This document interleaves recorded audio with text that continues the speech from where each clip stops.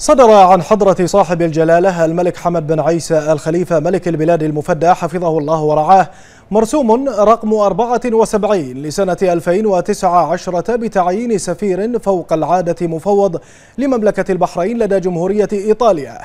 وجاء في المادة الأولى يعين الدكتور ناصر محمد يوسف البلوشي السفير في الديوان العام لوزارة الخارجية رئيسا للبعثة الدبلوماسية البحرينية لدى جمهورية إيطاليا بلقب سفير فوق العادة مفوض.